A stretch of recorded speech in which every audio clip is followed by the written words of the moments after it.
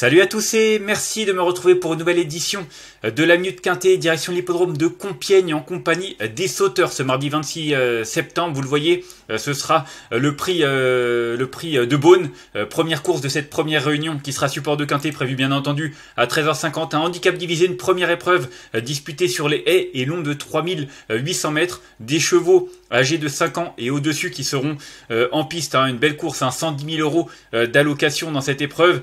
Et c'est vrai qu'on a un lot qui est pas forcément si facile que cela à déchiffrer parce qu'il y en a qui font leur rentrée, euh, d'autres euh, qui euh, tentent de repousser leurs limites. Donc voilà, l'un dans l'autre, on a quand même pas mal d'incertitudes.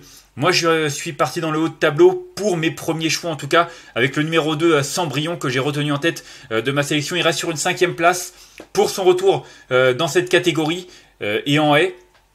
Il avait réalisé une bonne rentrée, je crois que c'était du côté de Beaupréau en s'imposant en plat. Euh, derrière, pour son retour dans, cette, euh, dans, cette, dans ce genre de tournoi, il a terminé, elle a terminé cinquième, mais elle court mieux que ne l'indique son classement. D'ailleurs, elle était euh, très en vue. je pense que cette course lui a fait le plus grand bien. Alors, elle avait quinté, elle avait gagné un quinté il y a quelques mois en début d'année. donc, Derrière, elle avait un peu moins de marge, mais là, elle est revenue à une situation pondérale bien plus avantageuse. Elle aura également l'avantage d'avoir déjà couru par rapport à d'autres rivaux euh, qui n'ont pas couru depuis 2, 3, 4, voire même plus que cela. Donc, euh, du coup, euh, elle peut avoir cet avantage en plus qui peut lui permettre de renouer avec le succès. En tout cas, moi, je pense que c'est une toute première chance associée à Lucas Giuliani. Ensuite, en deuxième position, j'ai retenu là Idil Déné. Une petite rentrée hein, pour cette Idil Déné. Maintenant, regardez cette année, elle n'a jamais déçu. Elle a en plus déjà fait l'arrivée au niveau des handicaps euh, en étant en valeur 61,5. Là, elle est prise en 60. Donc en théorie, euh, elle a vraiment une belle carte à jouer. Elle associe un homme euh, qui la connaît parfaitement. voilà, c'est une 5 ans face à ses aînés. Alors elle a beaucoup de points, hein, 72 kilos, c'est jamais simple. Mais c'est vrai que vu ce qu'elle a montré cette année et la valeur à laquelle elle est prise, pour moi c'est également une concurrence qui est largement euh, capable de tirer son épingle du jeu et pourquoi pas même de jouer les premiers rôles. Ensuite, euh, derrière les deux gros poids, je suis parti en, bas de tableau hein, avec euh, le numéro 12, Idéal de Siergue. c'est une concurrente, c'est un concurrent pardon qui est arrivé sur notre sol cet été. Et ben depuis son arrivée, il a vraiment beaucoup séduit. je crois d'ailleurs qu'il reste sur une bonne tentative sur le stiple de Compiègne. Euh, voilà, c'était ici. Il est terminé troisième le 8 septembre, donc déjà euh, sa forme est sûre. Il apprécie la piste de Compiègne et auparavant, il avait bien couru à deux reprises euh, sur notre sol en haie. Alors bien entendu, c'est son premier handicap avec ce que ça comporte comme incertitude, mais il est associé à Félix de Gilles. Il est bien placé en bas de tableau. Je trouve vraiment qu'il a une situation qui est assez favorable et puis comme beaucoup de ses concurrents sont dans une forme incertaine, lui aura non seulement la chance d'être en condition avancée, mais en plus d'être avec un poids qui est plus avantageux que certains donc pour moi, pour ses premiers pas dans cette catégorie, je pense qu'il est capable de jouer un très bon rôle. Ensuite, euh, j'ai retenu le numéro 13, Un Star de Rêve, Un Star de Rêve qui reste sur une cinquième place. Euh, je crois qu'on l'a, cette euh, performance Un Star de Rêve, c'était le 27 juin. il courait pas si mal que ça, hein. vous le voyez, il était proposé à 8 euros, c'était dans un quintet.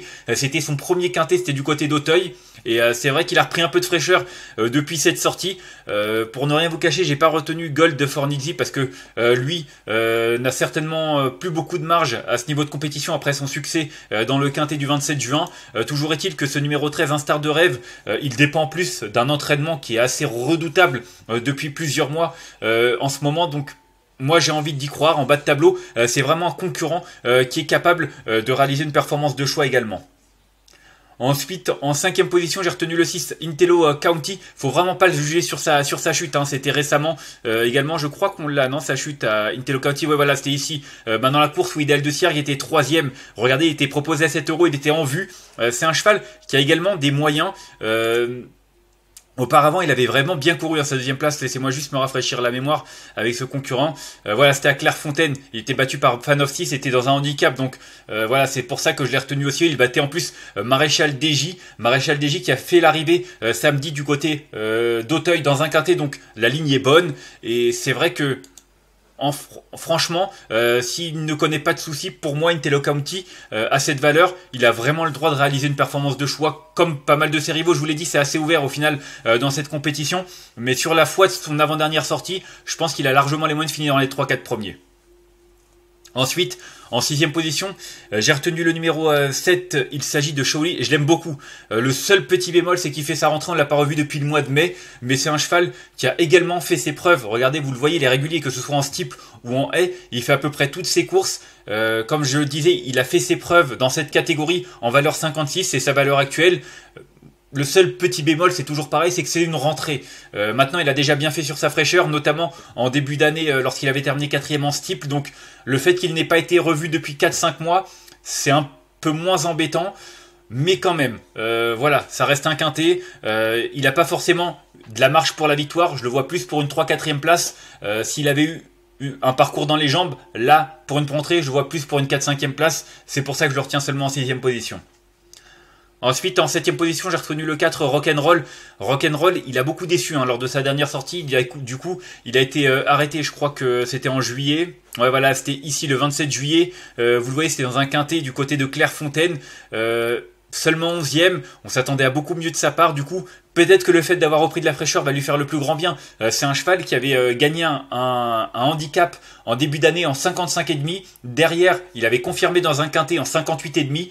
Là, après euh, deux échecs, il est retombé en 57,5. Donc, en théorie, il est dans une valeur qui lui laisse suffisamment de marge pour jouer les premiers rôles. Maintenant, le fait que sa dernière sortie est un peu déçue, ça me laisse dans le doute. C'est pour ça que je le retiens seulement en 7 position. Et enfin, en huitième position, j'ai retenu le numéro 11, Celestial Sands.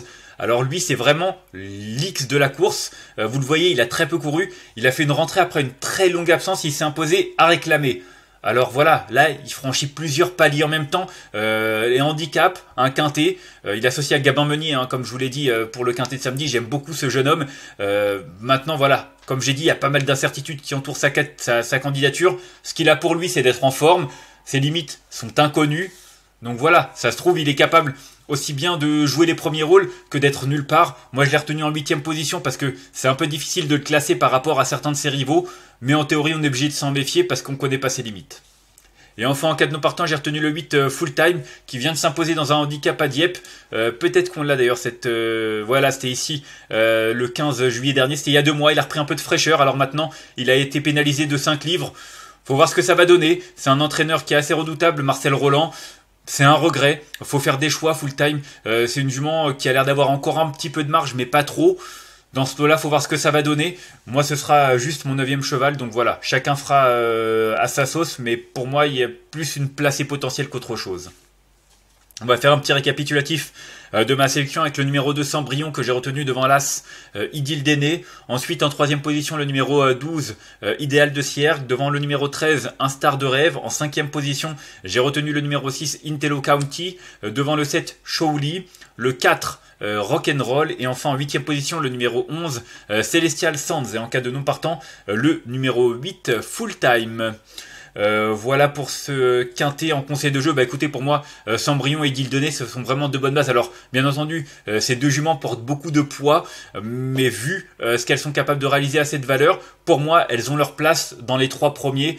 bien entendu, comme je vous l'ai dit, c'est ouvert. Chacun, ce sera ses, chacun fera ses choix. Il y en a plusieurs qui font leur rentrée, mais deux As, très bonne base. Et puis le 12, euh, non seulement il est en forme, mais il vient de bien courir sur le steeple de Compiègne. Donc voilà, pour son retour en haie et pour son premier handicap, je pense qu'il est capable de frapper un grand coup. Donc 2 As et 12, mes trois préférés dans cette compétition.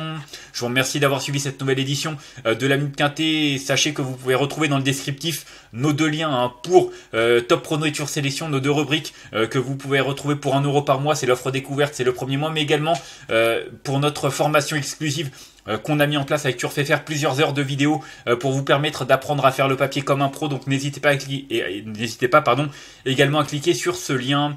Moi je vous retrouve mercredi, ce sera GNT qui est de retour du côté du Mont Saint-Michel il me semble. D'ici là, je vous souhaite de bons jeux à tous. Bye bye.